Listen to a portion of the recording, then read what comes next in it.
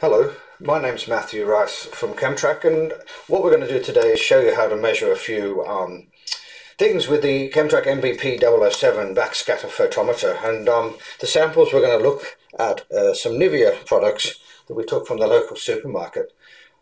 One is this um, Nivea cream which is a thick white um, paste and then a few other products. We have the um, moisturizing milk and a cleansing milk. And um, this is the product behind you. It's a backscatter photometer with fiber optics, taking the light to a backscatter probe. And the probe um, is a pH style electrode. So we could probably take that out and give you a little look. It's, it's the same size and shape as a standard 12 millimeter diameter pH probe and it fits in any sort of receptacle designed for a pH probe. We do have other designs, for example, in clamp design, tri-clamps. Um, but this is the one we'll be using today. On the instrument display here, you'll see it on the top left corner of the screen. So what you see here is what you see there. The top line of the display, let me see if I can do that again. Yeah, there you go. The top line is the light scattered at 850 nanometers, and the bottom line is the light scattered at 470 nanometers. Now, we can give more information about this in a technical document, but particles are between about 0.1 and, and um, around that size, microns, um, and one micron have different scattering of light depending upon the wavelength of light. So what we can do with this machine is use it for looking at changes in concentration, measuring concentration. We can also look at changes in the particle size distribution because when you measure scattered light it's a function of the concentration, the particle shape and size, also the refractive index and any color of the sample. But in these cases, refractive index and colour isn't going to be an issue. But you might be looking at the stability of an emulsion, in which case you're looking at small changes in the particle size for the same concentration. And you'll see that as a shift in the ratio between the two different wavelengths. So let's start with the Nivea cream. We'll prepare our samples. We like to work with the old-fashioned film canisters. We found a use for those. And in here, you can see we have our Nivea cream what we do is we just simply take a spatula and fill that up like so. So that's ready to be measured. That one there. And the other two samples we can just take a film canister and fill it up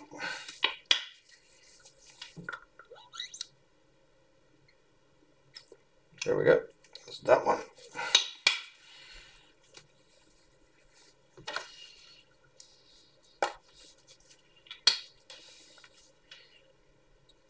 That's that's quite a bit more runny. It might be a bit hard to see on the video, but there's definitely differences in the in the um, consistency of those different samples. So you can see those samples there, and then of course this one, which is the the paste, thick, thick, thick paste. So um, let's make it easy. Let's start with one of the, um, this one looks like possibly the um, less viscous of all three samples. Pop a little lid on there, we don't make a mess. And they've got a hole in there. We just simply place it in the probe, like that. And then you can see the instruments reading. We get um, 20, about 21,000. I'll just write those numbers down. 21,000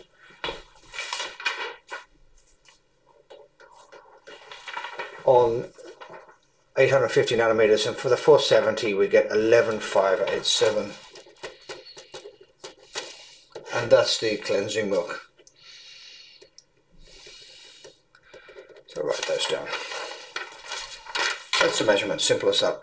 And of course this instrument's designed for use in the lab or primarily designed for process use where it can be put in the pipeline and measures continuously. Just wipe that off with a Kleenex. Let me take a second sample. This is the moisturizing milk. Again, shove it in. Now the moisturizing milk we get much higher readings, much, much higher readings. You can see that's a denser sample. Um, 50,000, almost 51,000 compared to 21,000 on the cleansing milk. And also you can see double. So roughly um, double on both of those samples, um, which, would, which would be indicative of the mostly the concentration of the samples. I mean, in the, in the, in the cleansing milk, you can see there's obviously a lot more water in that because it's a much thinner um, sample, and it could have somewhat to do with the particle size, but I would say mostly the um, concentration. So there we go, no problem with those samples. Let's give the probe a clean. Take a little bit more. And finally, we've got this um, Nivea cream. Pop that one in here, and this is quite thick, and you can see it's quite hard to push the probe into that. Surprisingly, surprise, surprise, we get approximately the same value of the um, Nivea cream, which is around 50,000, as we do on the moisturizing milk, where we got about 51,000. And then um, 23,560, which is actually quite interesting. Um, similar values of that, but the um, cleansing milk, very, very different values. Well, this was just a very, very quick demonstration just to show you how easy it is to set the product up and use it.